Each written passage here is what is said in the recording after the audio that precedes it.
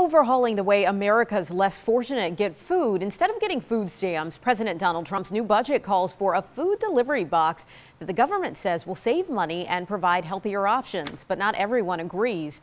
10 News reporter Lesla Gooden found out what this could mean for our communities. Maureen Best is already helping needy families in Roanoke receive healthy foods. The director for the local environmental agricultural project in Roanoke, known as LEAP, she says the Trump administration's plan would cut funding for farmers markets that offers incentive programs for SNAP users. $84,000 in SNAP were spent at farmers markets. Uh, about 110 farmers markets across the state accept, accepted SNAP, and all of that money, close to $400,000, uh, was money that stayed in the economy. The proposal is called America's Harvest Box. SNAP recipients' benefits would be used to buy a box of food that the government describes as nutritious and 100% grown and produced in the U.S.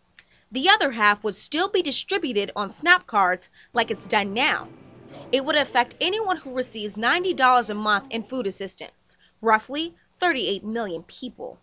The Harvest Box is said to cost nearly half as it would than purchasing at retail, and it's supposed to include canned fruits and canned meats, like these.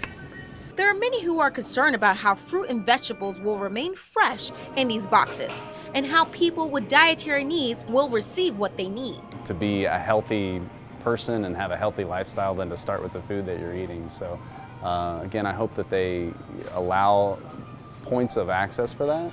And uh, I hope that the program still allows people to come in and make some of those choices. Gooden 10 News, working for you.